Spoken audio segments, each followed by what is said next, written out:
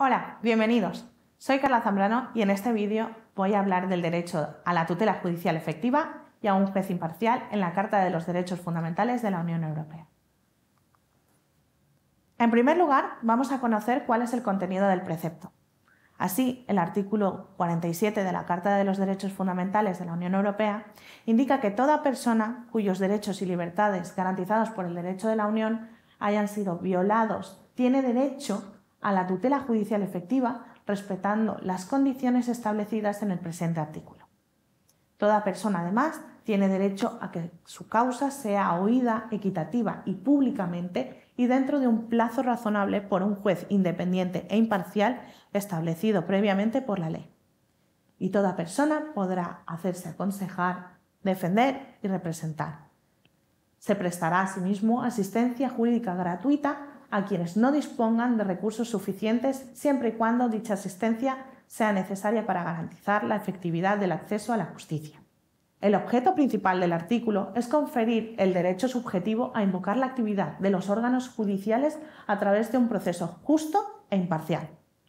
Como elementos clave, hemos de subrayar que este precepto atribuye tres derechos esenciales. El primero, la tutela judicial efectiva, es decir, el acceso a la justicia.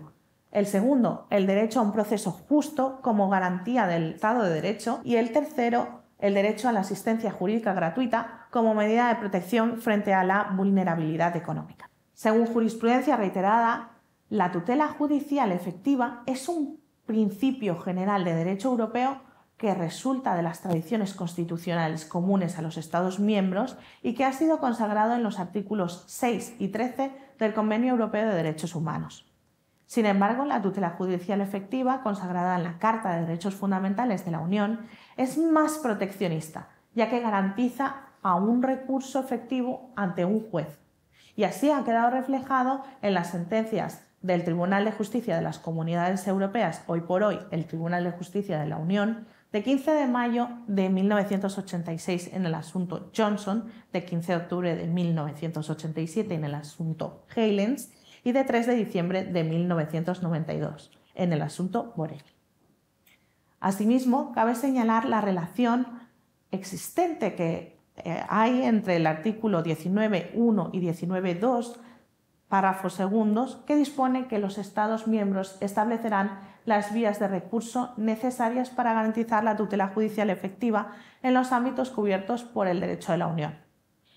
Los jueces y abogados generales del Tribunal de Justicia y los tribunales generales serán elegidos de entre personalidades que ofrezcan plenas garantías de independencia y que reúnan las condiciones contempladas en los artículos 253 y 254 del Tratado de Funcionamiento de la Unión Europea. En este sentido, se ha expresado la sentencia del Tribunal de Justicia de la Unión Europea de 20 de abril de 2021 en el asunto de la República contra el primer ministro, que considera que las disposiciones nacionales de un Estado miembro que confieren al primer ministro una facultad decisiva para el nombramiento de los miembros de la Judicatura, estableciendo al tiempo la intervención de un órgano independiente encargado de evaluar a los candidatos a un cargo judicial y de informar sobre ello, no son contrarias al derecho de la Unión y por tal no vulnera el derecho a la tutela judicial efectiva. Otra cuestión importante en torno al artículo 47 es el derecho de la persona a ser oída y juzgada con independencia e imparcialidad dentro de un plazo razonable.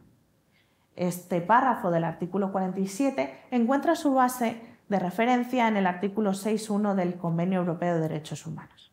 Sin embargo, la Carta de Derechos Fundamentales de la Unión confiere un estatus de mayor protección, toda vez que en el derecho de la Unión el derecho a un tribunal no se aplica únicamente a litigios relativos a derechos y obligaciones de carácter civil.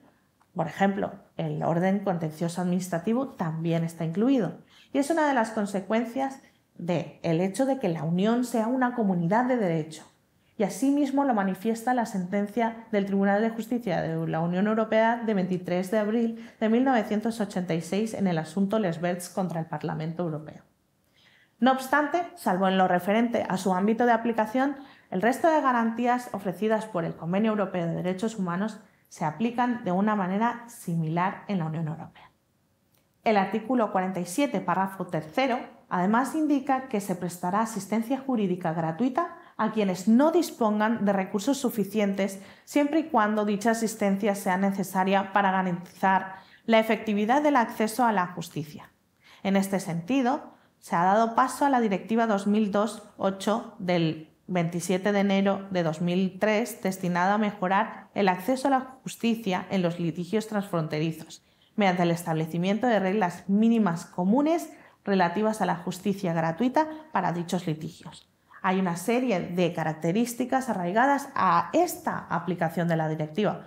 En primer lugar, solo se tratarán litigios transfronterizos. En segundo lugar, serán órdenes jurisdiccionales de civil y mercantil. En tercer lugar, existe una exclusión expresa de los órdenes jurisdiccionales fiscal, aduanero y administrativo. Y en cuarto lugar, incluye un asesoramiento previo a la demanda, la asistencia jurídica y representación ante los tribunales y la exención de las costas derivadas del procedimiento. Esto es todo lo que les tenía que decir. Muchas gracias por su atención.